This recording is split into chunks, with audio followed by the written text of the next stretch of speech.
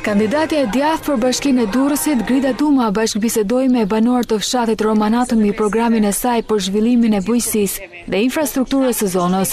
Duma tha se pas njëzet e një qershorit do të ketë një tjetër model pune nga ai i bashkisë së sotme, me projekte që do të sjellin zhvillim për të gjithë zonën. Të bësh rrugë me taksat? Është detyra e secilit. Problemi është çfarë lloj rruge bon?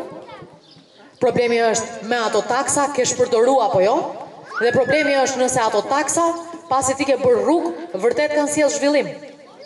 Asnjë nga këto të treja nuk ka përgjigje në bashkinë e sotme të Durrësit.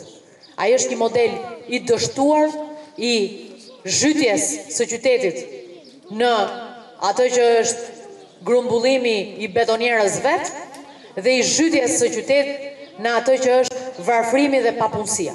Ajo që unë ju siguroj është që pas momentit që do marrim bashkinë të madhe, Do të vlejë të merresh me bujqësi, se tridhjetë për qind të subvencionimit dhe të fondit të garancisë do ta japë bashkia për çdo projekt fermeri bujqësie dhe blegtoral. Kandidatja e djathtë garantoi mbështetje për fermerët, pasi sipas saj tridhjetë për qind të subvencionimit dhe fondit të garancisë do ta japë bashkia për çdo projekt të fermerëve në bujqësi dhe blegtori.